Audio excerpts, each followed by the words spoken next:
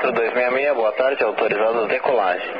Vento 340 graus, variando 200 graus, intensidade 8 nós. Ciente, é, autorizada a linha de decolar da 154266.